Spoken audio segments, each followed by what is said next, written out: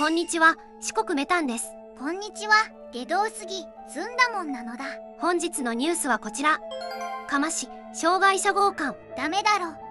26日障害者施設の警備員が入所者に性的暴行を加えたとして40代男性が逮捕されました。今年3月11日深夜障害者施設にて警備員が1人で当直勤務をしており女性の部屋に侵入入所していた20代女性に性的暴行を加えた疑いです。事件直後に別施設の職員に電話で助けを求め発覚。容疑者の警備員は容疑を否認しています。先月も福岡で似たような事件発覚していなかったのだ。太宰府病院で発生した難病患者への性的虐待ね。被害者は10人超えだったしめったに起きない類の事件と思ってたけど今回は障害者に対する性的暴行もしかしたら氷山の一角なのかもしれないわね。女性の入所者だし部屋の鍵は閉めてなかったのだ。警備員は薬を渡す担当で部屋の鍵を管理していたそうよ。ちなみに障害者への性加害は約7割が障害者だと知ってる近しい人とデータが出ているわ。弱者につけ込む卑劣な犯行。福岡に入らない人間なのだ。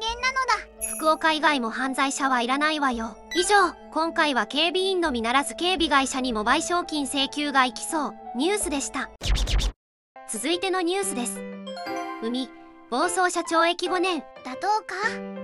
去年11月海町にて高校生ら9人を引いた60代男性に懲役5年が求刑されました。男性は転換の持病を持ち医師から運転してはいけないと指示があったにもかかわらず車を運転中に意識状態に陥り数学していた高校生の列に突っ込み9名が重軽傷を負った事件。26日に初公判が行われ懲役5年の判決が下されました。誰も亡くならなかったのは不幸中の幸いだけど執行とは思わなかったのだ。裁判官は医師の注意を守らない身勝手な行為と発言しているわ。重傷怪我人や女の子の顔面にも傷を負わしていたはず。後遺症や精神的負担が9人分と考えれば執行猶予なしは妥当な気もするわ。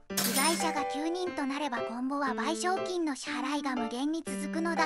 加害者側は懲役3年執行猶予5年を求めているけど裁判は即日結審されているから来月には正式な判決が確定するわ。高校生に後遺症は残酷な件について皆さんはどう思いますか？よければコメントください定期。続いては新コーナー「ずんだのズンズンクイズ」この画像はどこ？日の動画でチャンネル登録高評価よろしくお願いしますですわ